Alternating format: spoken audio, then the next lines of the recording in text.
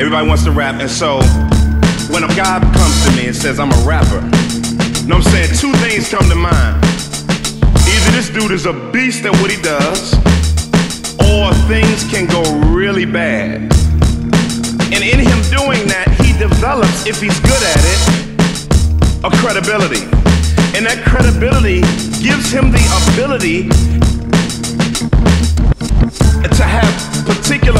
platforms that he is able to display his particular philosophy of life, his passions, and his heart. This dude is a beast, beast, beast, beast.